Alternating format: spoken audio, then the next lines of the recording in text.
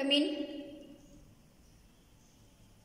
Ah, hey Jenny. Uh, have you finished your report yet? Uh, what report, boss? The report that I gave you on last Monday. So I told you already to complete it by today. Did you forget? Oh, yeah, yeah, yeah, I remember, boss. But the thing is, yeah, well, you should have give, given me some written instructions so that I know how to do it.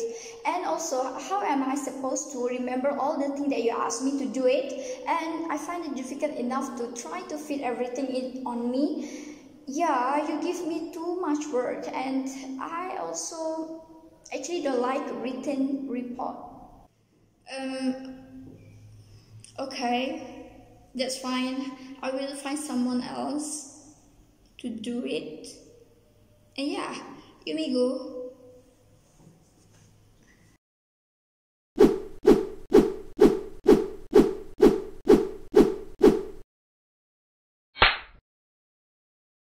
Um, alright, boss. Um, for your information, I already finished all the proposal to submit to the upper management, and also I took the consideration of your advices, and I all I already made a corrected and a better version. So all I need is your signature, and here it is the proposal.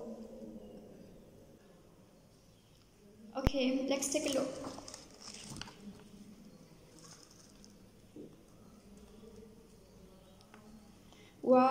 It's so good. You did a very good job.